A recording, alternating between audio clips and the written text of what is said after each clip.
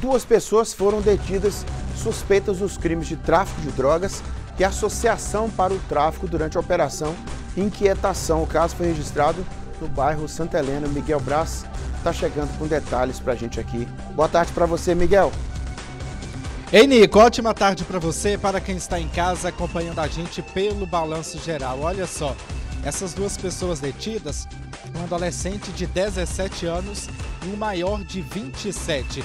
Elas foram detidas, de acordo com a Polícia Militar, por meio de uma denúncia anônima.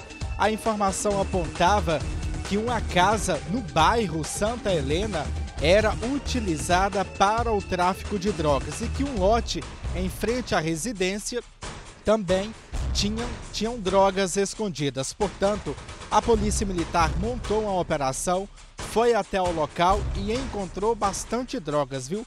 Vale ressaltar que esta ação contou com o apoio da cadela de Faro Perla.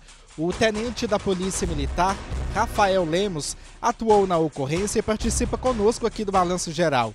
Vamos acompanhar. A equipe deslocou para o local para verificar a veracidade das informações. Ao chegar na proximidade da residência, os indivíduos tentou evadir, contudo eles foram abordados. Durante busca no local, foi localizado grande quantidade de maconha, crack e cocaína.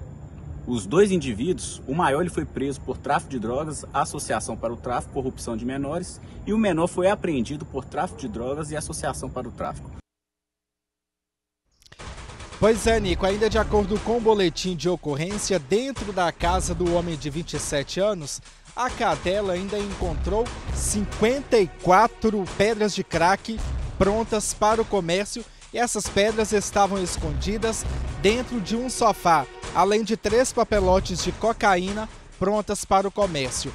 No total foram apreendidas 47 buchas de maconha, 77 pedras de crack, 41 pinos de cocaína, 7 papelotes da mesma substância, 5 aparelhos celulares, R$ 1.003 em dinheiro, plásticos para embalar drogas e outros materiais relacionados ao tráfico de drogas. Portanto, como o policial falou, o homem mais velho foi preso por tráfico de drogas e corrupção de menores.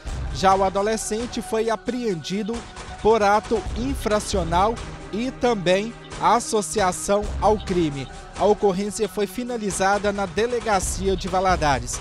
Está aí a importância da denúncia anônima. Eu volto com você, Nico.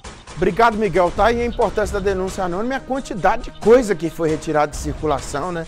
Obrigado, viu, Miguel?